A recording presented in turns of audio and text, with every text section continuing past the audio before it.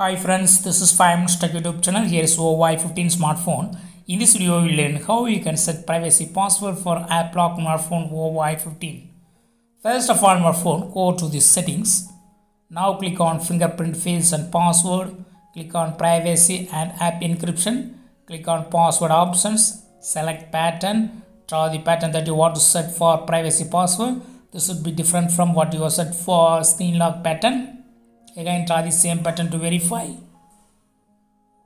Now click on app encryption. Here you can select apps which are to be locked as per your wish. I select album Amazon shopping browser calculator calendar contacts Google Drive Duo etc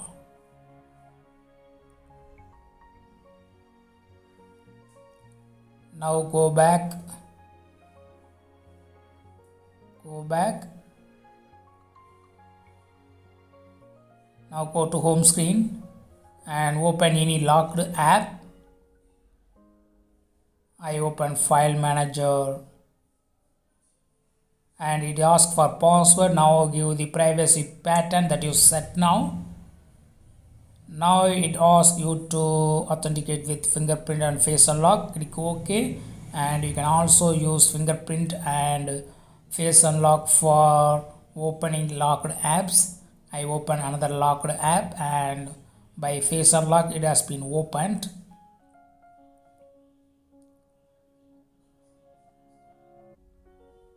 Now i use fingerprint.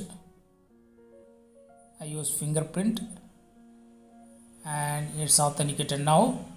So in this way you can easily set privacy password for a your phone Vivo Y15